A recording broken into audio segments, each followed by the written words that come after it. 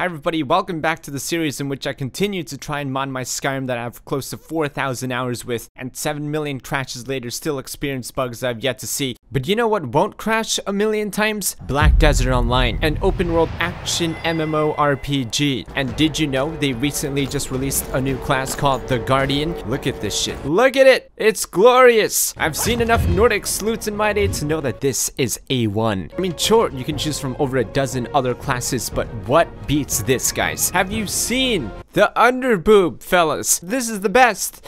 It's just the best. I mean, just look at the graphics. Everything is shiny and aesthetic as shit. Don't get me started on combat. It's responsive, it's flashy, it's weighty, it feels satisfying. And, and this is at like level 1, guys. Just imagine like level a, a, zillion. Character creation is fantastic. Every outfit looks as good as the best Skyrim armor mods I've seen. The world is vast, seamless, with no loading screens. And the game is always being updated with brand new content. And best of all, you can try it out for free using my 7-day free trial using my link down below. First up, we have a preview mod for Beyond Skyrim, that one mod that's attempting to add pretty much all of Tamriel inside of the Skyrim engine, that I can only see being finished in 2060, but for now, we have Wares of Tamriel, mod that's gonna park a giant ship called the Dawn's Venture inside of your Dawnstar. That sounds like some kind of porno title, but I assure you it's not. Inside the ship is very well designed. It's cozy, it's exotic, the shelves are filled with items from all across Tamriel to expand your tiny little pea mine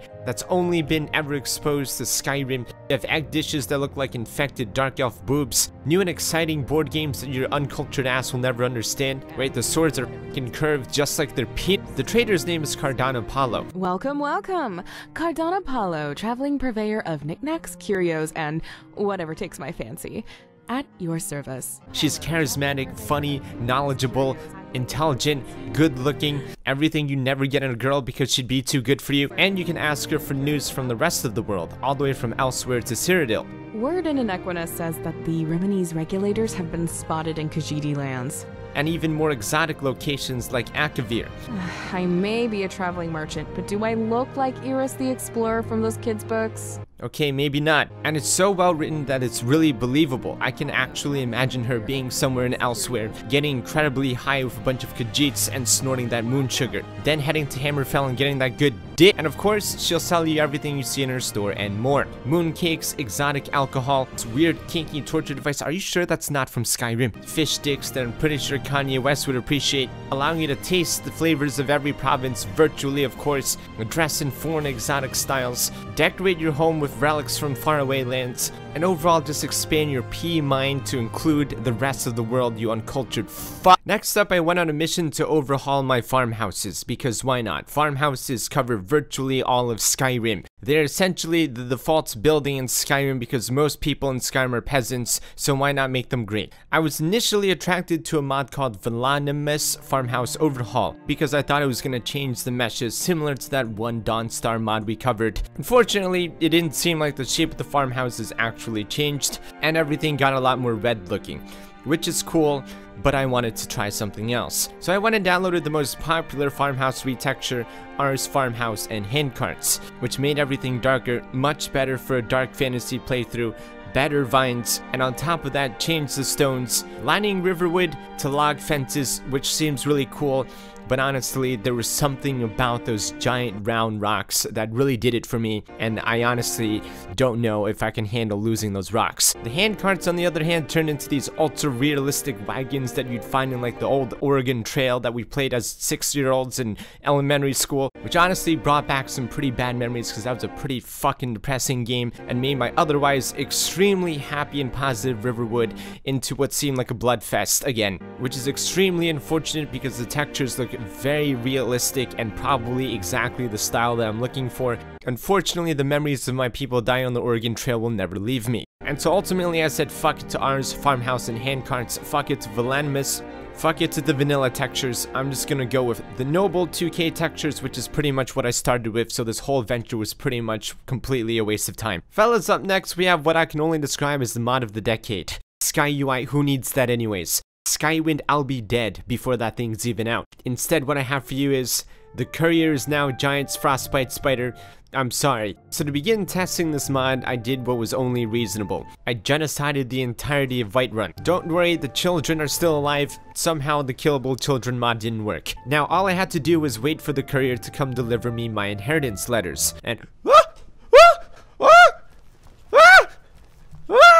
Oh my god! This is the greatest mod ever! So as you can see, the spider is now moving at 500% speed for maximum obnoxiousness. However, it is still a spider, which means you can't avoid it by going into the water. Unfortunately though, it is still the courier as well, which means it's essential and nothing you do will ever kill it. Oh, thank god that's over. Jesus Christ. Oh! Oh! I've been looking for you. Now, for some reason, he decided to park his ass in my riverwood. I waited all day and night until my god eventually abandoned me, and then I asked myself why.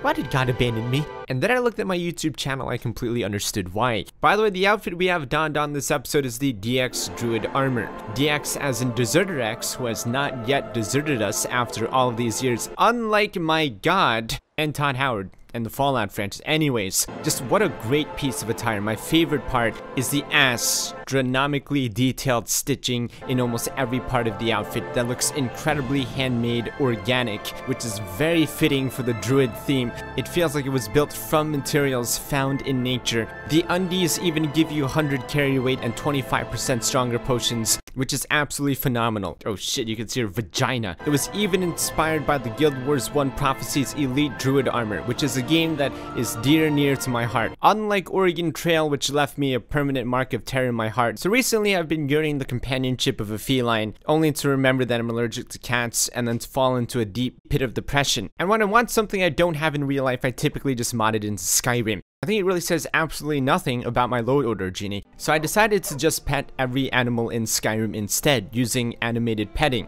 And so back in Riverwood I- ah! Ah! Trying my best to avoid the naked man chasing me down from my library books, I found one of Mihal's house cats, which pretty much looked exactly like the kind of cat I wanted in real life but I couldn't due to my disability. I tried to pet him but instead seemed to make a gesture suggesting that the naked man come forth and penetrate my butthole, which is not exactly what I wanted, which led me down a rabbit hole of deep crippling depression, in which I could only recover weeks later, where I'm filming this video now. Good I shot him in the face, got kicked out of the college, and decided to chase down a new rabbit companion. He was inside of Honeystrand Cave, where also a dead dragon laid for absolutely no reason.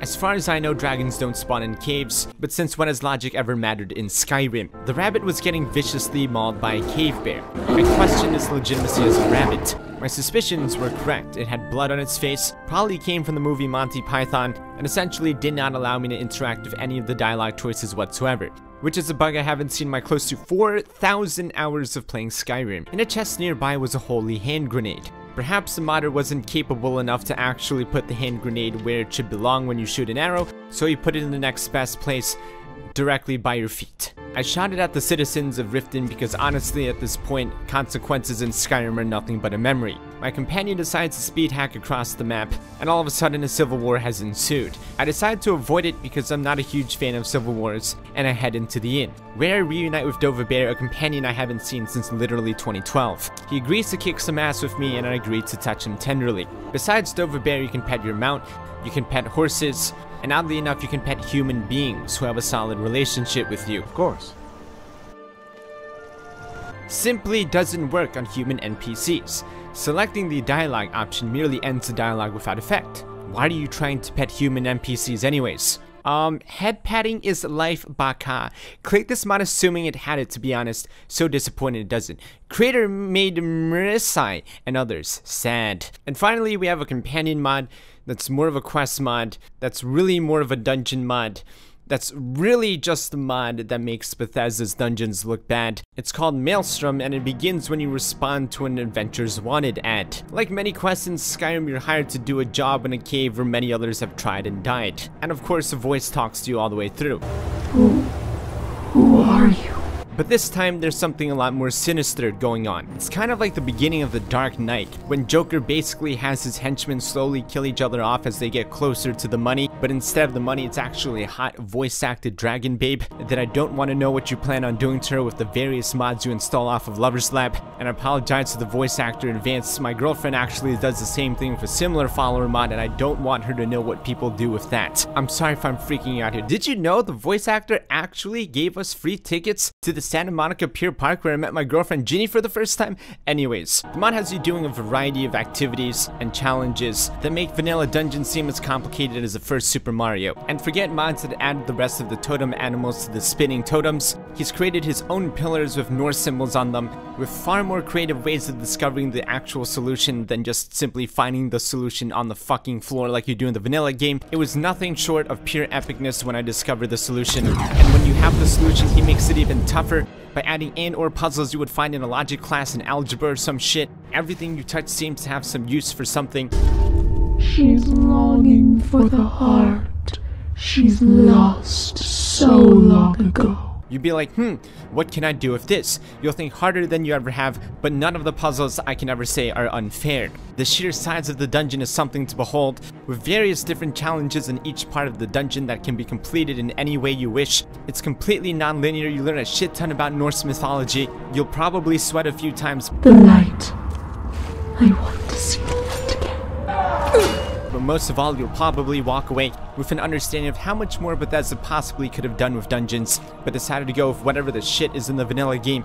It's incredibly well crafted from beginning to end, possibly the greatest dungeon I think that's ever been made for Skyrim so far. I really hope you guys check it out. Thank you so much for watching, and I'll see you guys in the next one. Peace! Looking for some cheap games? Check out g2a.com and use the code MXR to get 3% cash back. Link down below.